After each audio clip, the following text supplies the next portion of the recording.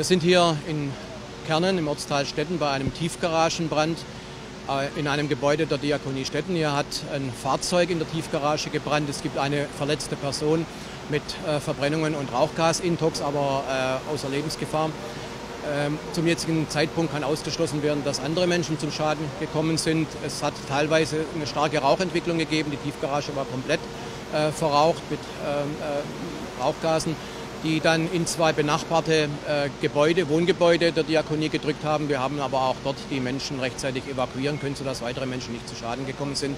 Stand jetzt ist das äh, Feuer aus ähm, und äh, wir kontrollieren jetzt nochmal die anderen betroffenen Fahrzeuge nach. Es kann jetzt nicht ausgeschlossen werden, Vermutlich sind auch noch weitere Fahrzeuge und Motorräder, die in dieser Tiefgarage abgestellt worden sind, zu Schaden gekommen. Der Pkw befand sich gerade in, äh, in der Phase, dass er herausfahren wollte, hat es aber nicht ganz herausgeschafft. Der Fahrer konnte sich dann noch äh, mit seinen Verletzungen in Sicherheit bringen und das Fahrzeug ist komplett ausgebrannt und deswegen auch die Tiefgarage komplett verraucht und wie gesagt teilweise auch die beiden Wohngebäude. Die Schwierigkeit, äh, Schwierigkeiten sind in vielfältiger Art bei so etwas. Es ist natürlich ein äh, dunkler schwarzer Rauch durch die Kunststoffe, die in dem Fahrzeug verbrennen. Es war keine Sicht. Ähm, dann eine starke, durch den begrenzten Raum äh, der Tiefgaragenausfahrt, eine sehr starke Wärmeentwicklung, Hitzeentwicklung, ein Hitzestau. Äh, wir muss, konnten dann äh, mit ähm, Einsatzkräften unter Atemschutz dann die Lage soweit in den Griff bekommen, sodass jetzt das Feuer, wie gesagt, im Moment aus ist. Wir müssen natürlich noch prüfen durch einen Statiker, ob die Tiefgarage zu Schaden gekommen ist, ob sie weiterhin befahrbar ist und ähnliches. Ähm, wir haben hier Kräfte aus den Feuerwehrabteilungen in Stetten und Rommelshausen im Einsatz, sowie die Feuerwehr in Fellbach.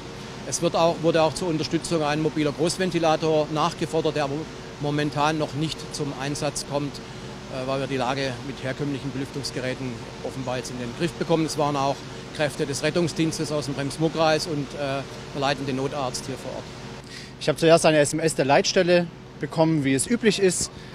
Da war schon klar, dass es sich um einen Brand handelt. Deswegen habe ich mich bereit gehalten, weil in solchen Fällen mich der Kommandant bei schwereren Fällen informiert, dass ich zur Einsatzstelle komme. Das war der Fall. Es ist der erste Einsatz, zu dem ich als Bürgermeister ausrücke. Natürlich etwas nervös, aber ich habe hier eine tolle Truppe und da muss man sich als Bürgermeister auch nicht zu viel Sorgen machen. Der erste Gedanke ist natürlich, sind Menschen zu Schaden gekommen?